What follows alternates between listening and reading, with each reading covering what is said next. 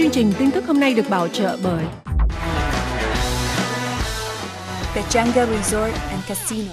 Health and Beauty Network giúp bạn tự tin yêu đời với mỹ phẩm Natra 714 467 9071. Tèo Thai Club 714 983 Võ Xe hay 714 983 8693 chợ Đông Ba với các món ngon xứ Huế 714 891 8028. Mai Phương Beauty and Wellness Center Xăm phun thêu tán bột chân mày mí mắt nguyên môi với nữ tài tử Mai Phương 25 năm kinh nghiệm 714 839 8121 Tế bào gốc by Olacell, tinh hoa của đất trời, đẹp da, mọc tóc, giảm cân. Nữ tài tử Mai Phương, đại diện độc quyền 714 839 8121. Chúng tôi cần đại lý khắp nơi. MV sức khỏe là vàng 714 757 7379 714 722 9709 HT Learning Center. Sự thành công của con em quý vị là niềm tự hào của chúng tôi. gìn giữ cặp mắt tốt cho một tương lai sáng lạng với bác sĩ Vương Linh Chi 714 530 2006. Pala Casino Spa and Resort mời quý khách trải nghiệm 5 yếu tố phong thủy thắng lợi.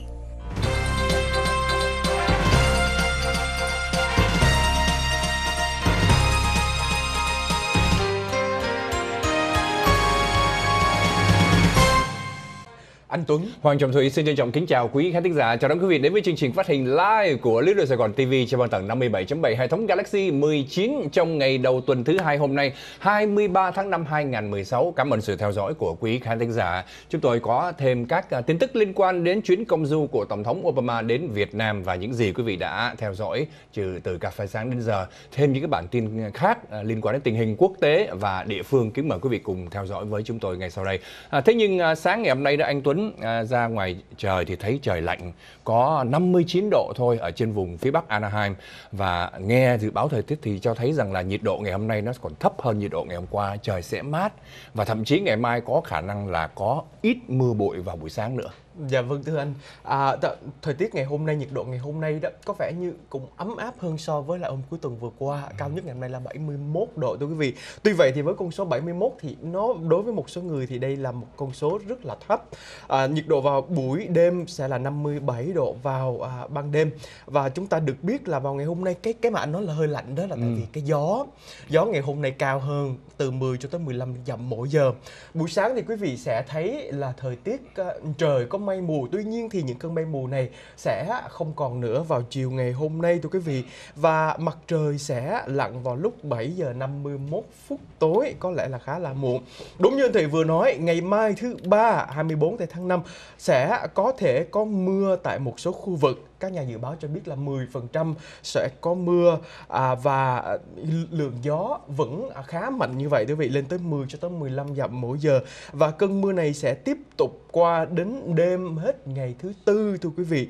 Và khi mà nhìn vào thời tiết trong tuần sau đó thì mặc dù hôm tuần trước chúng ta thấy là nhiệt độ vào tuần sau, tức là tuần này có vẻ như cao lên tới 80 độ, nhưng mà tuy nhiên ngày hôm nay khi chúng tôi xem lại thì nhiệt độ vào cuối tuần này cao nhất chỉ khoảng 75 độ vào ban ngày và 57 độ vào ban đêm mà thôi.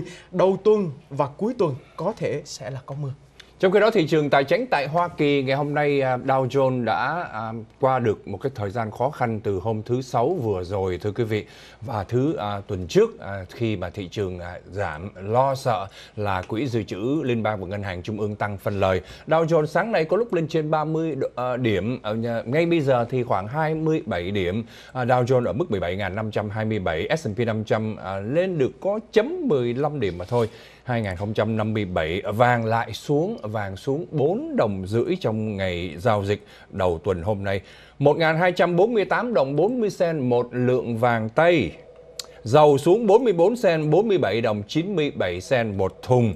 À, trong khi đó Nasdaq sáng nay có lúc lên trên 20 điểm bây giờ thì chom chèm ở mức 15 điểm 4.785 và bản tin chính à, dẫn đến việc tăng ngày hôm nay là Materials Lead có nghĩa là các nguyên liệu mua vào để à, dùng vào việc sản xuất hàng loạt hàng hóa tại Mỹ thì những nguyên liệu này đã được mua vào. Điều này cho thấy rằng là các nhà máy sản xuất tại Hoa Kỳ vẫn tiếp tục nhận được đơn đặt hàng trong thời gian tới từ bây giờ đến cuối năm nay và quý vị biết là bước sang à, mùa hè thì đó là thời điểm mà các hàng gia công phải chuẩn bị cho mùa Giáng sinh cuối năm.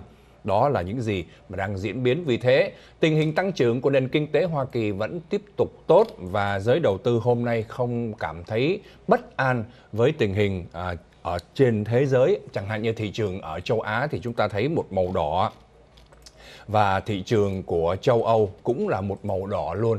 Châu Âu bây giờ tiếp tục gánh nặng của những người tị nạn di dân từ Syria và vùng Bắc Phi. Chưa kể đó là mối hiểm họa của Anh quốc đòi rời bỏ khối Liên hiệp Âu Châu và hiện nay thì đa số các nhà kinh tế gia nói rằng nếu mà Anh quốc rời khỏi châu Âu sẽ dẫn đến một cái tình trạng suy thoái kinh tế cho nền kinh tế Âu Châu và kéo dài sang cả thế giới nữa thưa quý vị và đó là những diễn biến liên quan đến uh, thị trường chứng khoán. Hôm nay thì uh, bản tin đầu tiên mà chúng ta nghe được uh, thực ra đó là từ uh, tối hôm qua. Yeah trong lúc mà Little Sài Gòn TV gửi đến quý vị phần tường trình đặc biệt đó, thì vào thời đúng thời điểm đó là khoảng 11 giờ sáng là thời điểm mà ông à, Tổng thống Obama à, gặp ông à, Chủ tịch Trần Đại Quang, sau đó gặp bà bà Chủ tịch Quốc hội Kim Ngân, rồi tiếp tục là các cuộc họp với ông Thủ tướng Nguyễn Xuân Phúc, rồi xong Thủ tướng rồi tới ông Tổng Bí thư Nguyễn Phú Trọng. Trong cuộc họp báo à, vào à, trưa hôm qua trước khi ăn trưa ăn trưa hơi trễ tới 2 giờ mấy mới ăn trưa, thì hai người đã thực hiện một cuộc họp báo và đến ngày hôm nay chúng ta biết được kết quả cuộc họp báo, thưa quý vị, tổng thống Obama tuyên bố dỡ bỏ lệnh cấm vận vũ khí, sát thương toàn phần.